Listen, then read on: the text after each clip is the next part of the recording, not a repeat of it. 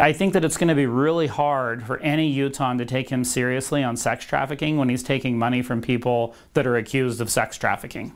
The Utah Democratic Party calling out Congressman Burgess Owens for participating in a human trafficking policy summit in Logan today after it was discovered that Florida Congressman Matt Gaetz contributed to his campaign. Now, Gaetz is currently under investigation by the Department of Justice over allegations of child sex trafficking. Fox 13's Diego Romo spoke with the Utah Democratic Party, who say Utahns should be concerned with this issue.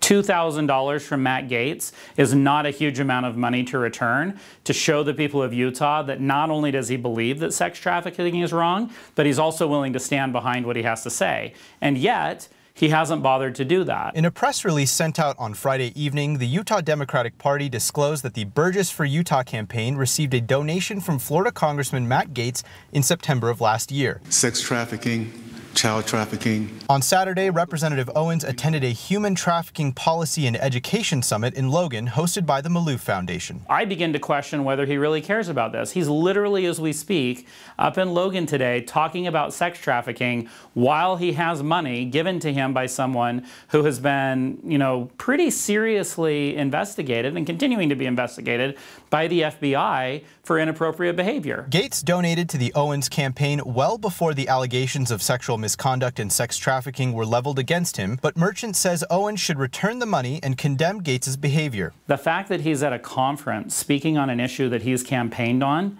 and he hasn't let the people know that he's doing that, it maligns not only him, but all the people that are working on this conference and who really want to fix issues related to sex trafficking. Representative Owens was confronted about the contribution from Gaetz at Saturday's summit, but declined to comment on the issue. Yesterday, the Utah Democratic Party issued a press release asking you to return a $2,000 donation from Representative Matt Gaetz um, in light of him being investigated for uh, human trafficking and exploitation of a minor.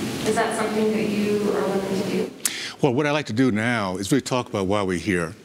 Uh, we, we, have a specific uh, day, a reason to be here today, and we have some remarkable um, frontline heroes that are here speaking about it. So I'd really rather us stay, stay focused. Stay focused on the fact we're talking about human trafficking, sex trafficking, um, all the things that we all know is evil. I reached out to Representative Owens' team for more response on the Gaetz contribution, but have not heard back as of yet. In Salt Lake City, Diego Romo, Fox 13 News, Utah.